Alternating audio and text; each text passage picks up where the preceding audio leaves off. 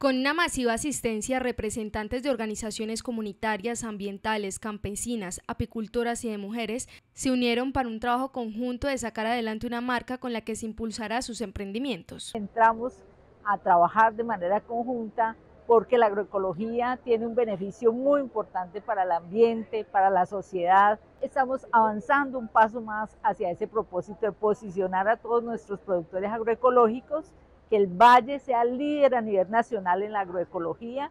Estamos convencidos de que esta es la manera de salir adelante en el desarrollo sostenible del Valle.